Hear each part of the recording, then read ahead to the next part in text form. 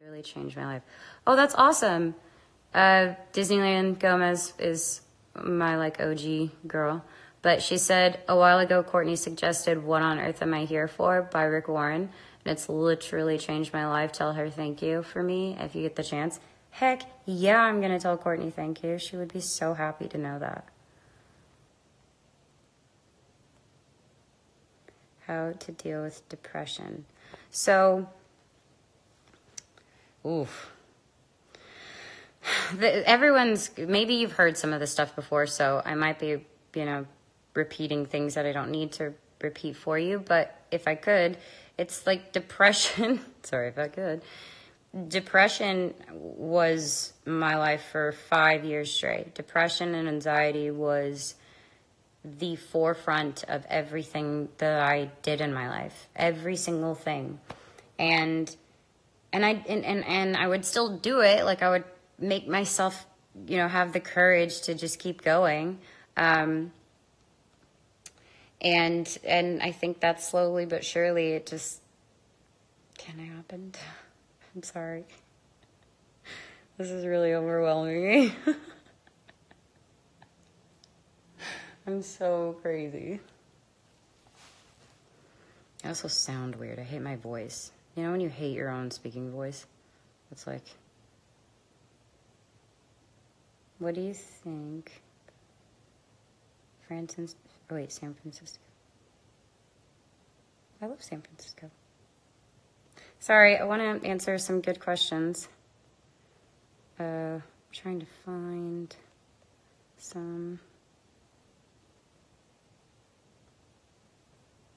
What makes you happy and be stronger right now? Jesus and my friends. My friends are the most amazing people in the whole world. Like, if there's, if there's some, if there's any, I mean, friendship is so important, and my my best friends have literally saved my life. They are such good people. Courtney is so cool. We call her CJB because she's just like awesome. Raquel is hysterical. Like everything she does, it's like beautiful but like whimsical. And Ashley's the OG, Ashley Cook. She's awesome. She's very serious, you know. I, and by the way, all of you are like, who the hell are these people? But it's more just like people who know my friends. They're they're really good people. They're not in the industry at all. In fact, they loathe they loathe it sometimes, but they love like they love what I get to do with like my fans and for my fans. But all the other stuff, they're protective of me. Um, what's your advice to forget someone? Well, it, you you can't really just like forget. You know, you can't really just forget someone. It's more just you kind of have to figure out why you're still holding on to them. Like why are you like why do you want to forget them? Um, and then I think that's where you start. Ask yourself that question like why do you want to forget them? And did they hurt you? And if they did and it's not healthy for you to go back or to that thought, you know, it's it that's not good. As far as like losing someone, I mean, you never do. But sometimes forgetting can be a bad thing. You know, sometimes you might need to be reminded of something. So, whatever that question meant, um, I hope I answered it.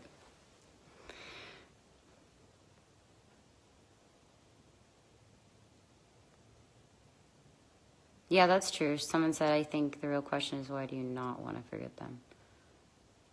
I don't know if I, I don't know, but good job.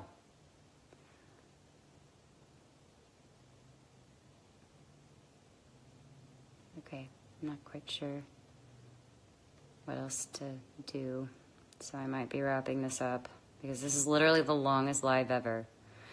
somebody tell me what the longest live ever was. I'm sure. I'm sure that somebody beat it, but I feel pretty weird that I just spent all this time talking to a phone screen. but it's just because I want to talk to you guys. How's Taylor? Taylor's awesome. I love her. She's amazing. I just talked to her today. She's literally like my big sister. I tell her everything. She's so smart. It freaks me out. Um, my middle name is Marie. Hi, my I'm Selena Marie. Literally, someone just asked me that, and I said it. uh,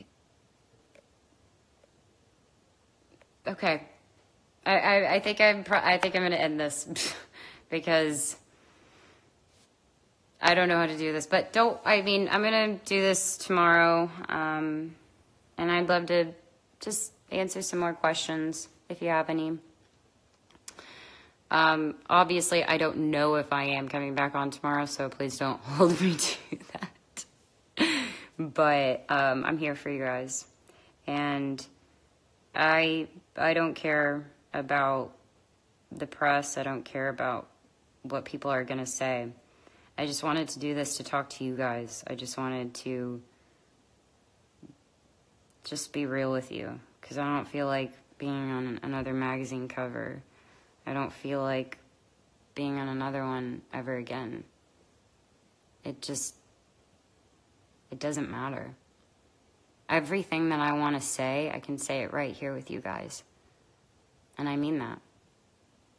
Like, I try to say things in an interview for an hour. I'm talking to someone and they're just, you know, talking to me and I'm thinking it's really good. I'm like, yeah, you know, you're here, you're at the offices, you're experiencing things, and the next thing you know, it's, and it's not anyone's fault. People just want to like get people's attention, but I don't really understand why.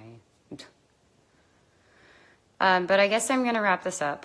Um, I love you guys very much, and I'm sorry. I look crazy. I don't care. I like had this cold sore. I had like a pimple. I don't care. Whatever. This is who I am. Fully and completely. Bye, guys. Such a psycho.